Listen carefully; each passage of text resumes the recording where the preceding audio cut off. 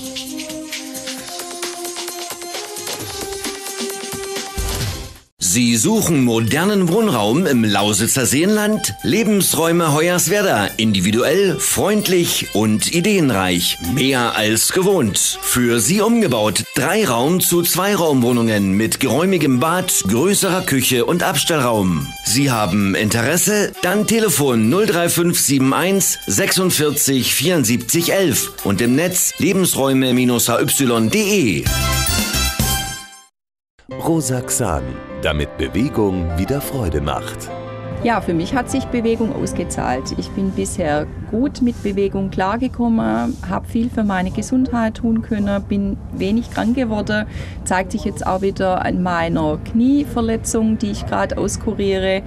Bewegung, Bewegung, Bewegung. Mein Körper nimmt es an und mir geht spürbar besser. Rosaxan zum Diätmanagement bei Schmerzen und Gelenksteifigkeit bei Gonarthrose.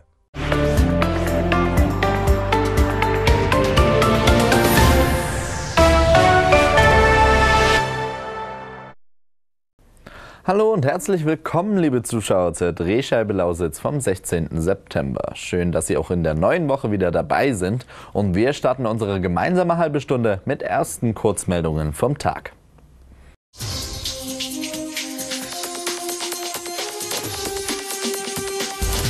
Am Montag ist ein Teil der Straße aus dem Industriegelände in Hoyerswerda Stadt einwärts wieder für den Bus- und Pkw-Verkehr freigegeben worden. Über die Einfahrt Ziokowski-Straße muss der Verkehr Richtung in die Innenstadt rollen. Der Lkw- und Durchgangsverkehr wird großräumig über die B96 umgeleitet. Für Radfahrer in Richtung gibt es eine ausgeschilderte Umleitung über das Rosarium. Die Einfahrt ins Industriegelände erfolgt weiterhin über den Behelfsweg. Am Donnerstag wird im Industriegelände in Hoyerswerda die Straße A mit neuer Verkehrsführung wieder für den Verkehr freigegeben. Es wird dafür die Straße E zwischen Kaufland und Tankstelle vollgesperrt, teilt die Stadtverwaltung weiter mit. Sie wird erneuert. Eine Umleitung führt dann über die Straßen A und F. Ein ankommender Zug aus Görlitz, das gehört wieder zum alltäglichen Bild am Hoyerswerda Bahnhof. Für gut acht Jahre sollte dies nämlich nicht der Fall sein, sodass die beiden Städte via ÖPNV nur über einen Bus erreichbar waren.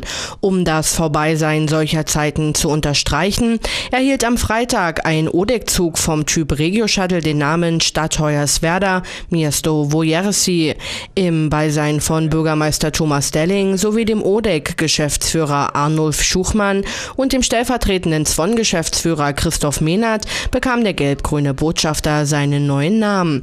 Und damit auch in Gottes Namen nicht schiefgehen kann, taufte Pfarrer Heinrich Koch die Bahn mit Wasser aus der Schwarzen Elster, auf dass der Bahn nun zwischen Hoyerswerda und Görlitz nichts mehr passieren kann und sie im besten Fall auch immer rechtzeitig ankommt.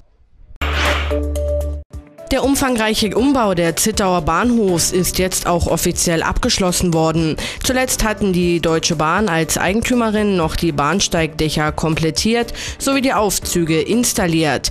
Letztere sorgten allerdings bereits durch mehrfache Ausfälle für Ärger.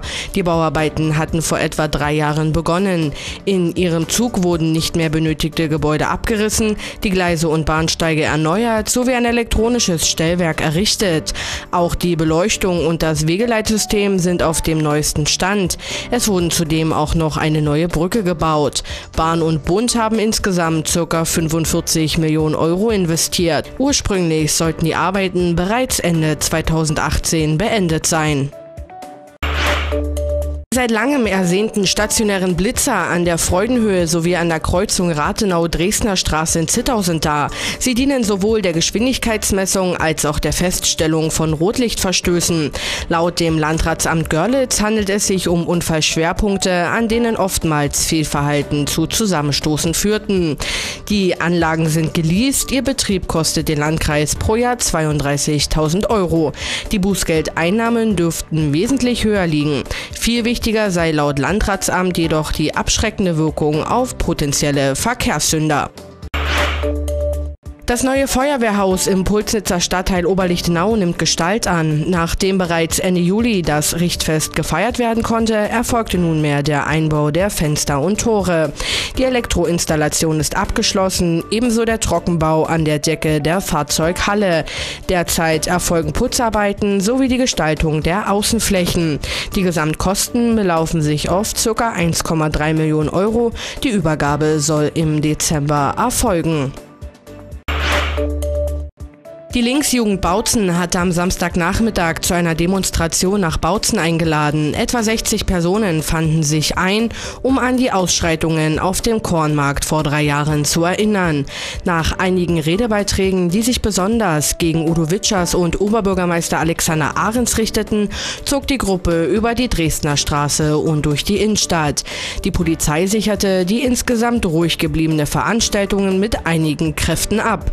Einige ältere Personen Personen hatten versucht, sich den Demonstranten in den Weg zu stellen.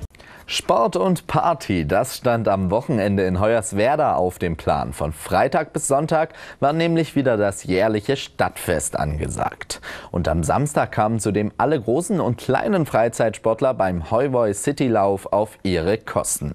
Wie gut das mit Vanessa Ulbricht und Lars-Henrik Wacker gleich zwei Kollegen vor Ort waren und jetzt für sie ein Dreamteam bilden.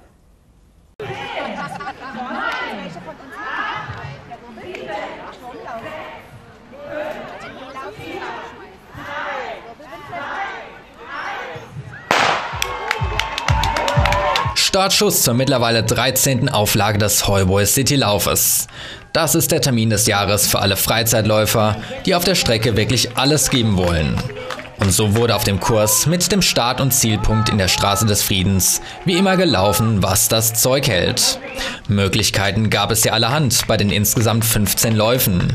Egal ob groß oder klein, hier kamen wirklich alle Sportler auf ihre Kosten.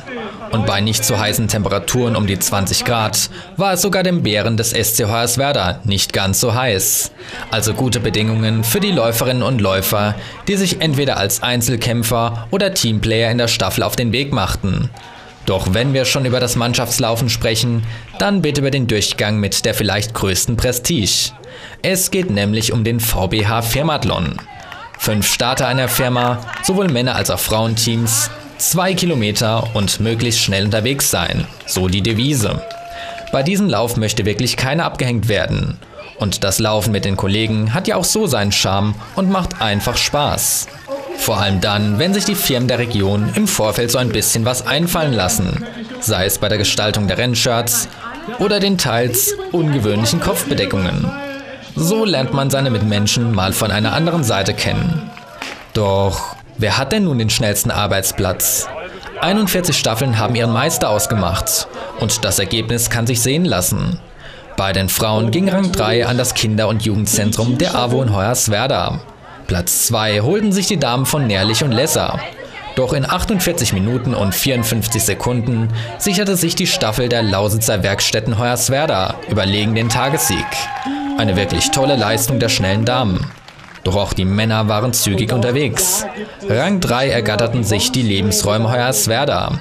Knapp davor auf Platz 2 sind die Männer von Meier Möbel das erste Team. Aber die geballte Manpower gab es von Nährlich und Lesser. 36 Minuten 43 Sekunden. Dazu alle Starter deutlich unter 8 Minuten unterwegs. Doch unabhängig von den Zeiten und Platzierungen können alle Starter auf ihre gezeigten Leistungen wirklich stolz sein. Sie sind nicht nur ins Ziel gekommen, sondern hatten auch noch jede Menge Spaß dabei gehabt. Und das steckt sichtlich an. Ich kann mir aber auch gut vorstellen, dass nur wenige Meter weiter beim Stadtfest ordentlich was los war. Nicht wahr, Vanessa? Ja, Lars, absolut. Läuferisch ging es beim Stadtfest deutlich gemütlicher zu. Aber warum soll man auch über das Festgelände rennen? Für Tempo sorgten nämlich die zahlreichen Fahrgeschäfte. Mal ging es am Boden so richtig rasant zur Sache. Dann sollte in der Luft die Post abgehen.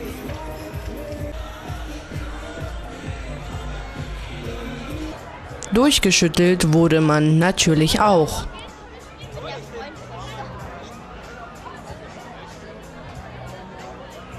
Und die Kleinen, Die durften mal so richtig durchdrehen.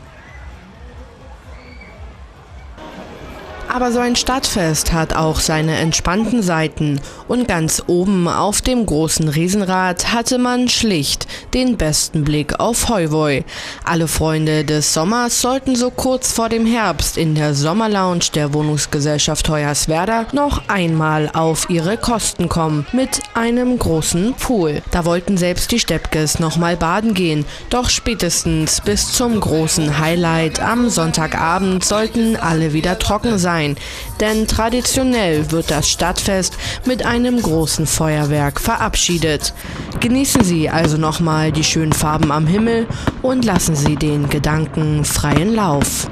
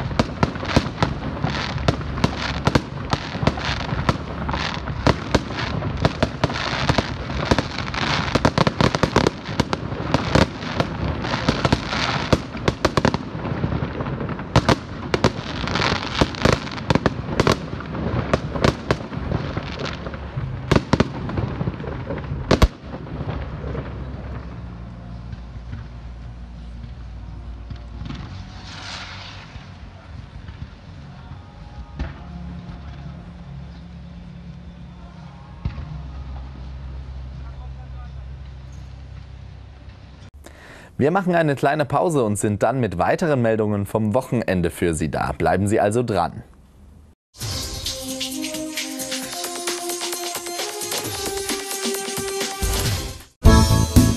25 Jahre Autohaus Sarotnik, der Mehrmarkenhändler aus Weißkolm. Egal ob Citroën, Dacia, Ford, Hyundai, Kia, Nissan, Renault, Seat, Skoda, Suzuki, Toyota oder Volkswagen. Sarotnik hat sie alle. Wir bedanken uns für Ihre Treue mit bis zu 25% Nachlass auf den Listenpreis für Neuwagenkauf und dazu gratis Einsatz Winterräder. Ihr Jörg Sarotnik.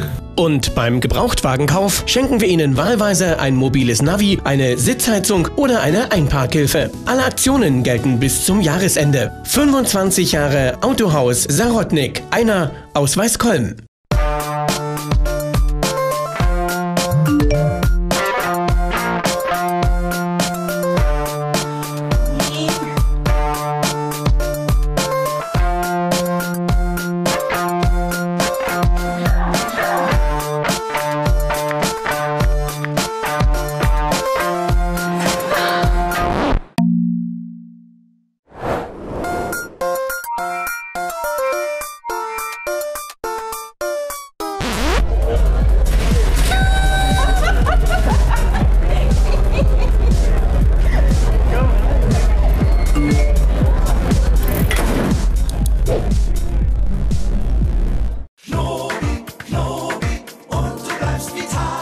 Bin vom Typ her eher einer, der einen höheren Blutdruck hat. Darum trinke ich den Knobi Vital auch so gern, weil ich weiß, dass Knoblauch gut gegen einen hohen Blutdruck ist. Knobi Vital basiert auf der Unterstützung einer gesunden Herzfunktion durch den positiven Effekt des Knoblauchs. Wir trinken sie jeden Abend. Weil es wirklich hilft. Knobi Vital erhalten Sie in allen Apotheken und Reformhäusern. Und jetzt auch in Ihrem DM.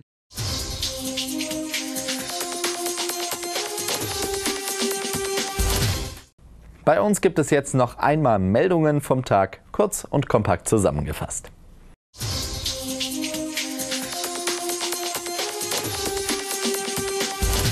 Die Energiefabrik in Knappenrode schließt ab sofort vorübergehend ihre Pforten. Grund sind die derzeit laufenden umfangreichen Umbauarbeiten in der Fabrik. Aber auch auf dem Außengelände finden Erschließungsarbeiten statt. Es werden neue Medien für Gas, Abwasser, Strom und Telekommunikation verlegt. Für Interessierte gibt es aber die Möglichkeit, zu speziellen Baustellenführungen sich ein Bild vom Stand der Baumaßnahme zu machen. Die Termine dafür sind am 19. und 20.10.2019 und am 16. und 17.11.2019, jeweils um 10 Uhr. Diese Führungen werden am großen Haupttor beginnen und sind kostenlos. Da die Rundgänge auf jeweils 25 Teilnehmer begrenzt sind, wird um eine vorherige Anmeldung unter der Rufnummer 03571 60 42 67 gebeten. Im Sommer 2020 wird sich das Industriedenkmal dann wieder allen Besuchern und Gästen präsentieren, heißt es in einer Mitteilung aus dem Museum. Am 19. September 2019 lädt das Malteser Krankenhaus St. Johannes gemeinsam mit dem Kamenzer ASG Rettungsdienst zu einer Aktion im Rahmen der Woche der Wiederbelebung auf dem Marktplatz in Kamenz ein. In der Zeit von 9.30 Uhr bis 11.30 Uhr werden medizinische Fachkräfte und Notfallsanitäter an einem Stand auf dem Wochenmarkt über Reanimationsmaßnahmen informieren und Anleitung in Herzdruckmassage geben. Ein plötzlicher Herzstillstand könne jeden treffen. Deshalb sollte jeder in der Lage sein, im Notfall einfache und lebensrettende Sofortmaßnahmen zu ergreifen. Mit dem kleinen Training vor dem Rathaus können Menschen jedes Alters ihr Wissen um lebensrettende Maßnahmen auffrischen. Interessierte sind also herzlich willkommen. Die für Wirtschaft, technische und Bauangelegenheiten zuständige Dezernentin des Landkreises Görlitz, Heike Zettwitz, wechselt in den Landkreis Dahme-Spreewald.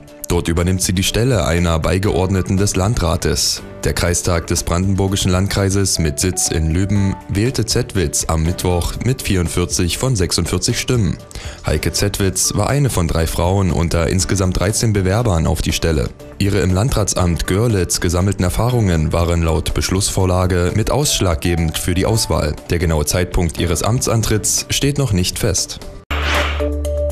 Das Grundschulzentrum im Löbauer Stadtteil Kittlitz wird zurzeit energetisch saniert und erweitert. Bereits 2004 und 2005 waren umfangreiche Sanierungsmaßnahmen an dem Standort durchgeführt worden, damit eine zweizügige Grundschule mit angeschlossenem Hortbetrieb eröffnet werden konnte. Verschärfte Brandschutzbestimmungen sowie der Gesamtzustand der Gebäudesubstanz machen nunmehr eine grundlegende Rekonstruktion notwendig. Im ersten Bauabschnitt werden am vorhandenen Altneubau die Fenster gewechselt sowie Dach und Fassade gedämmt. Der zweite Bauabschnitt beinhaltet die Errichtung eines Anbaus für die Unterbringung von Büro- und Verwaltungsräumen. Die Gesamtmaßnahme soll bis 2022 abgeschlossen werden.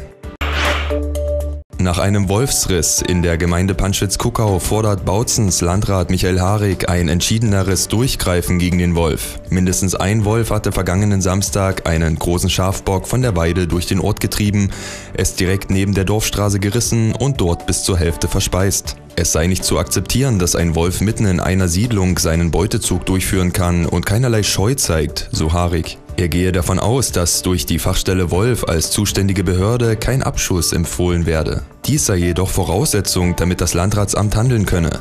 Von dem Versprechen, dass sich mit der neuen Wolfsverordnung Konflikte vermeiden oder rechtssicher lösen lassen, spüren die Menschen vor Ort leider nichts, so der Ortsbürgermeister.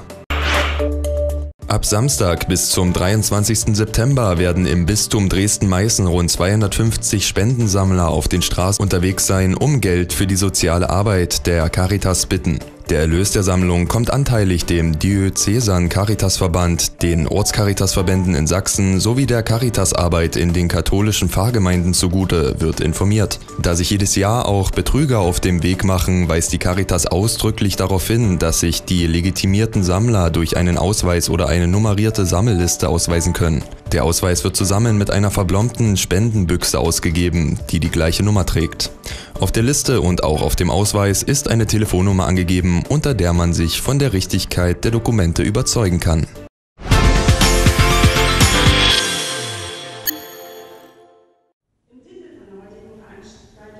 Beim diesjährigen Fachtag Leben und Lieben in Deutschland in Chemnitz wurde wieder heiß diskutiert.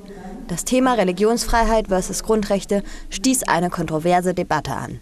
Vier Experten diskutierten über die Auslegung und Ausübung des Islam.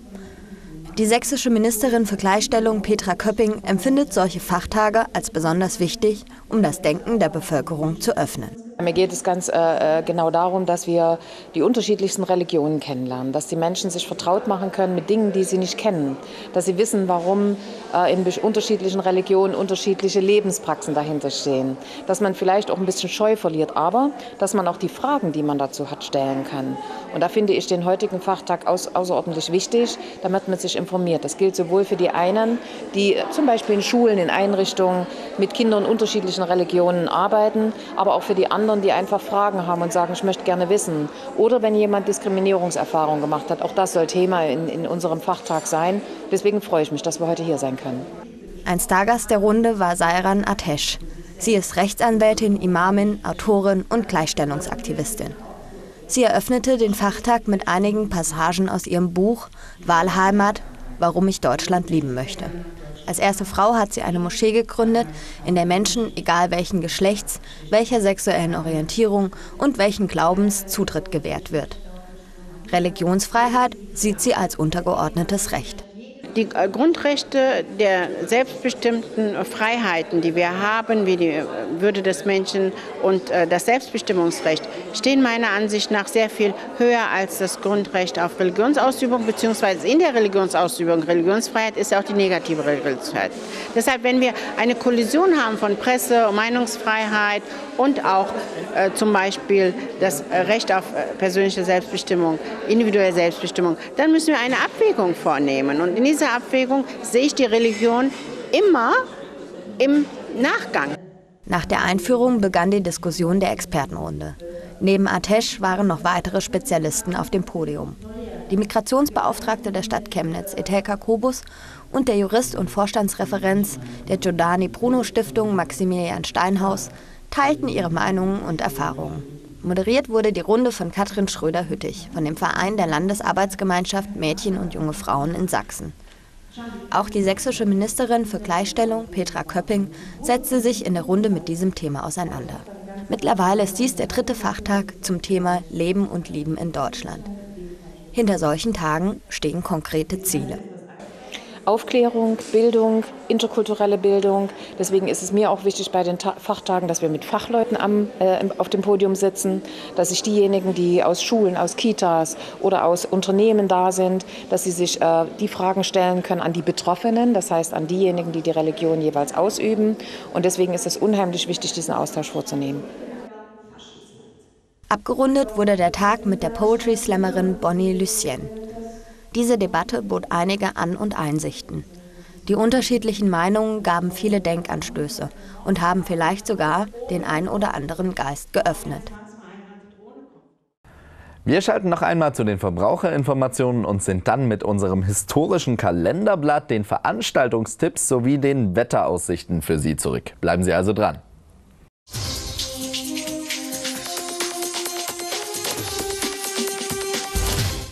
Wir bitten zum Tanz im Berggasthof Tschornebow. Am Samstag, 28. September ab 18 Uhr. Tanzabend mit der beliebten H&S-Diskothek. Eintritt nur 3 Euro. Einfach telefonisch reservieren unter 035 877 899 168. Kunewalde 899 168. Heimat lebt von ihren kleinen Geschichten und den Menschen dahinter. Kennen Sie jemanden mit einem besonderen Hobby? einem großen Herz für andere oder großem Engagement für eine Sache? Dann schreiben Sie uns an info@lausitzwelle.de. Wir stellen diese Menschen gern einmal vor.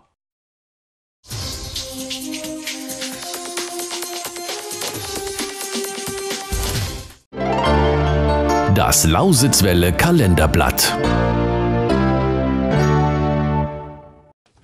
Am 12. September 2013 ist in Bernsdorf nach umfangreichen Umbau- und Sanierungsarbeiten das Rathaus wieder offiziell eingeweiht worden. Rund 2 Millionen Euro wurden investiert. Über die Historie des Bernsdorfer Rathauses ist bisher nicht allzu viel bekannt. Aber mit dem Umbau konnte das eine oder andere Puzzlesteinchen gefunden werden. Mittlerweile gehen die Experten davon aus, dass das Gebäude um die 400 Jahre Jahre alt sein könnte. Das Lausitzwelle Kalenderblatt.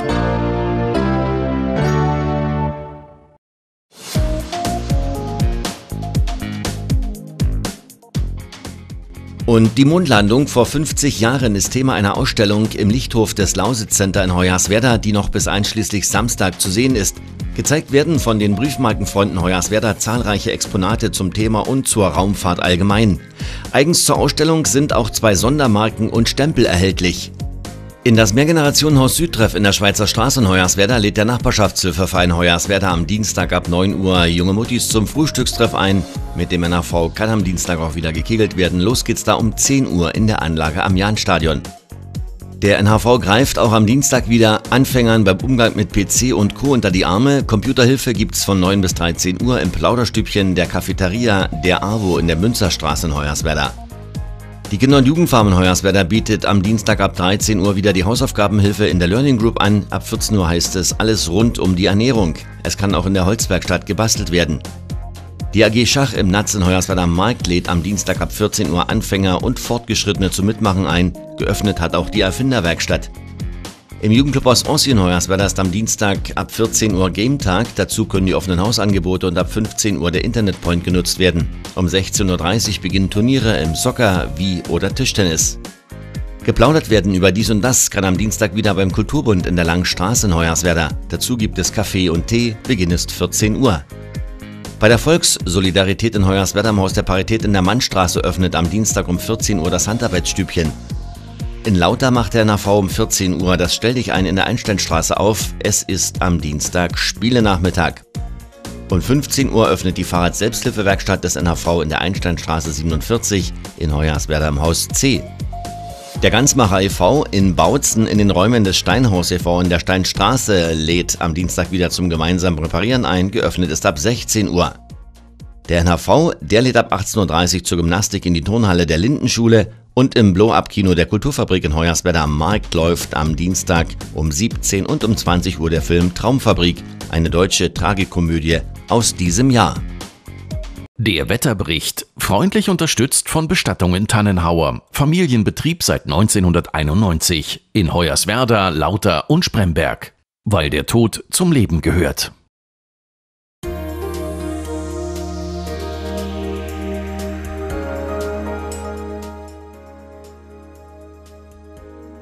Nachts größere Auflockerungen und 9 Grad. Am Dienstag einige Regenschauer, vereinzelt Blitz und Donner, dazwischen Aufheiterungen. Es bleibt mit 16 Grad auch am Dienstag eher kühl. Dabei weht ein frischer, zum Teil starker Wind.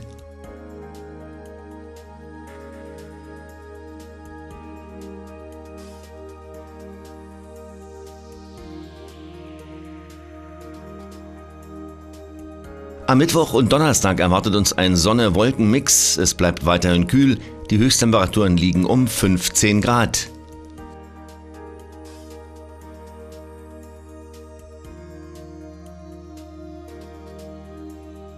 Ja, und das war es auch schon wieder von der Drehscheibe Lausitz vom Montagabend, liebe Zuschauer. Das gesamte Team wünscht Ihnen einen angenehmen Abend. Alle Nachrichten gibt es auch online auf unserer Homepage lausitzwelle.de zum Nachlesen.